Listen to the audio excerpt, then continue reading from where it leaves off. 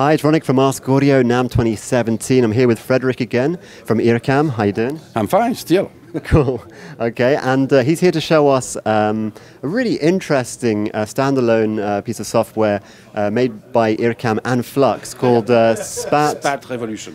SPAT Revolution. This is pretty revolutionary. So I'm, I'm going to let you talk us through it. Yeah, just to make a quick demonstration, I mean a quick resume of these instruments. And you can have a certain amount of sources coming from Pro Tools, or coming from any of your those that you have, and you can spatialize them.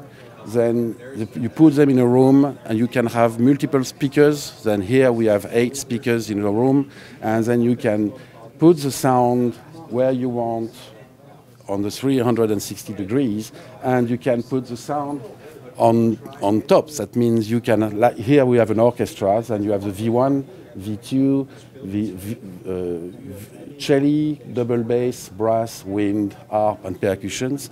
And here we can see that we, we put the wind, the harp, and the brass a little bit higher, and the percussion on top. And that's a full 3D um, image of your mix and you can have a binaural encoding. That means you can listen to, the, to your headphone, and we can simulate 22 speakers in your headphone on 360 degrees.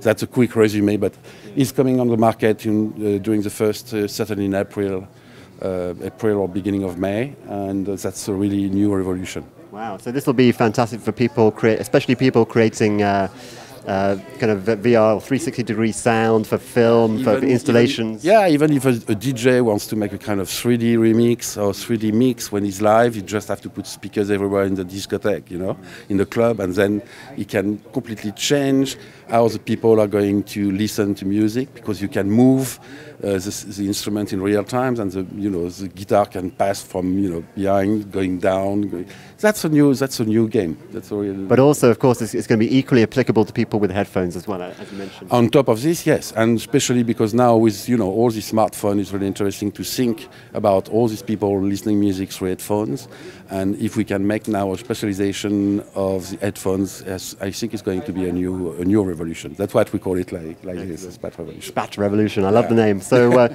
do, do, you have a price for this yet?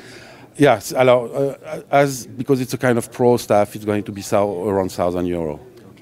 That's quite expensive. Yeah, it's quite expensive, yeah. but yeah, it's but it's a, it's really unique. You don't have you don't have anything like this on the market at the moment. Yeah, no. interesting. Thank you so much, Frederick. Thank you. You're welcome.